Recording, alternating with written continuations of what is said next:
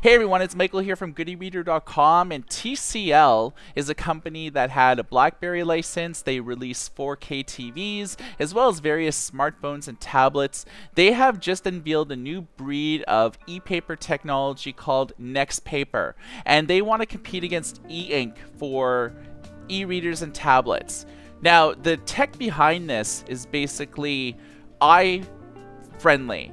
So it is similar to the Hisense Q5 we reviewed that doesn't have a front light or a back light or blue light or anything like that. It relies completely on uh, having ambient light in the room in order to see the screen and see colors.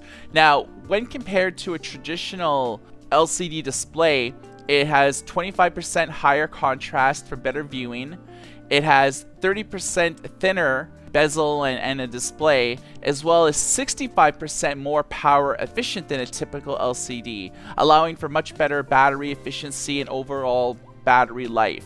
So this has been in development for around two years and it is going to be available sometime in 2021. They're going to license this technology out to other companies.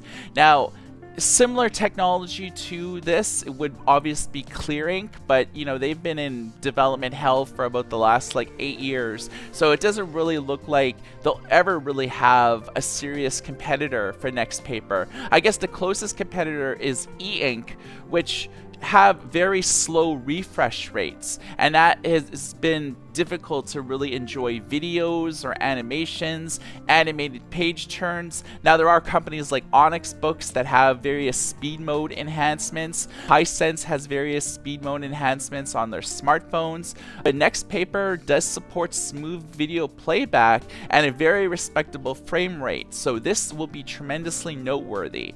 I'm very excited about TCL NXTPAPER what do you guys think? Drop a comment below. And for goodereader.com, my name is Michael, and everybody take care.